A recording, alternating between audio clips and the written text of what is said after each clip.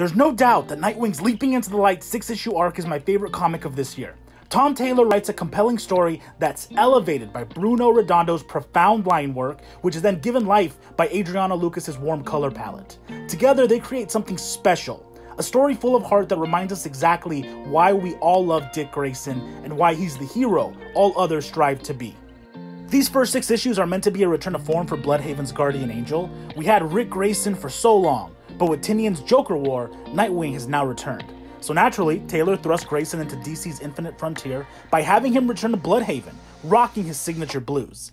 Nightwing 78 sets the tone beautifully as he stands up to bullies both as a kid and as an adult, the latter including the rescue of an adorable three legged puppy. At its core, what makes Tom Taylor's Nightwing so special is that it perfectly displays Dick Grayson as a person, and how his humanism makes him the hero that he is.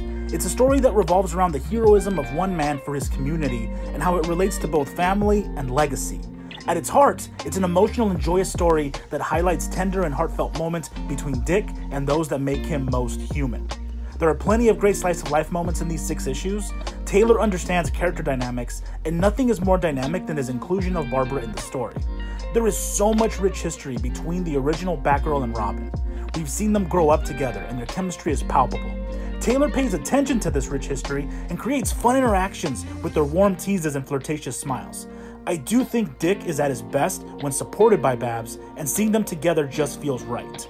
Taylor also delivers the big brother dynamic by delivering much needed brotherly bonding between Dick and Tim. Seeing them reunite and patrol the rooftops genuinely felt good. Seeing their family dynamic coupled with Barbara's witty dialogue felt both familiar and refreshing.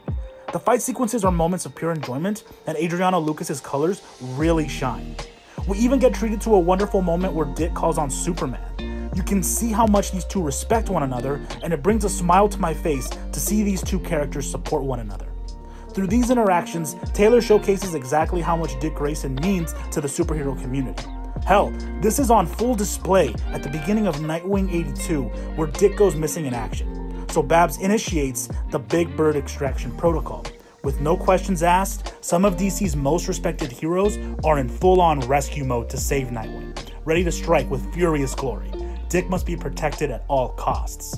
And of course, one of the people who come to Nightwing's rescue is Batman himself, who has another heartwarming moment with his adoptive son at the end of issue 83. It's a small moment, but it's immensely profound. Ultimately, through all these interactions, Taylor reminds us just how much Dick Grayson is loved by his fellow heroes.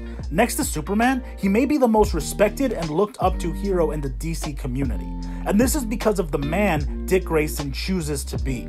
One of Leaping into the Light's biggest plot points is Dick Grayson's sudden billionaire inheritance from the late Alfred Pennyworth.